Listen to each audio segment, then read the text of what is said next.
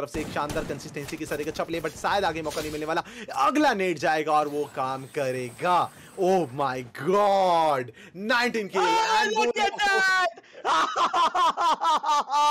ये था कुछ like, I, I love that. I love Nice. that thug life. Yeah, bro. Yeah, delete. Yeah, समझ गए, समझ गए हम लोग. Yeah, भाई साहब। guys. Delete is saying tararara. Rajinikanth Rajinikanth style Oh yeah, bro. Rajinikanth style That's now that's what you call a camp performance.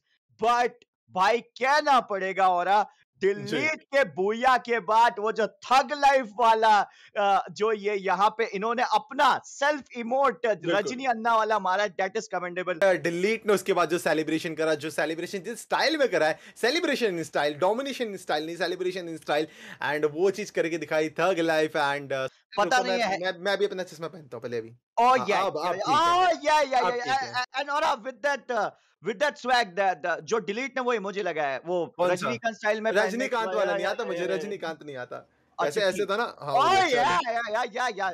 ए अपने पास भी हो रहा है डिलीट देख ले भाई अपने अपने पास भी है भाई ऐसी बात है ब्रो थग लाइफ जी हाँ गाइस एंड जी माफियाज ने पूरा आज समा बांधे and I like that the way he smiled and he just grab it down like Rajni Anna he was like तररररा भाई वो लाइक करो गाइस सब्सक्राइब करो गाइस